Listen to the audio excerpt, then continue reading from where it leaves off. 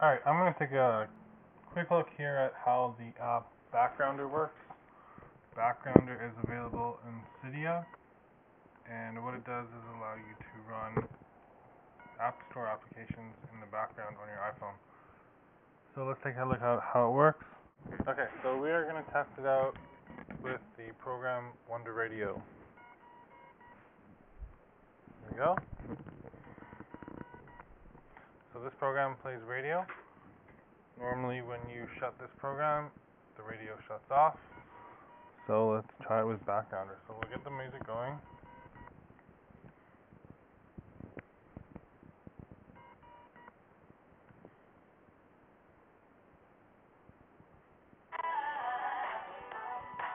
Okay, so it's going. Now what we need to do is hold the home screen button.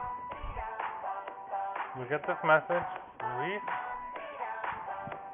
Program's stopped, but it's still playing.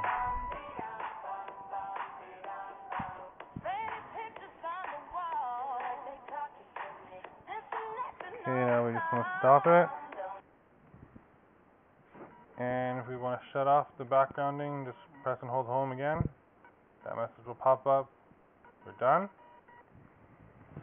Alright, so the next program that we want to try is Beejive. Beejive IM. So just give me a sec while I sign in. And the main problem with these accounts is that they're not pushed because there's not allowed in the firmware. But if we can have it running all the time in the background, it essentially becomes pushed. So we'll press and hold home.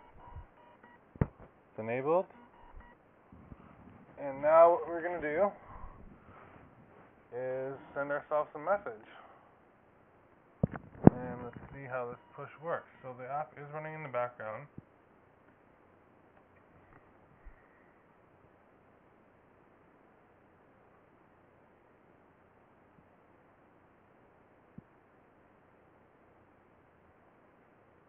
Hmm. See? It's push.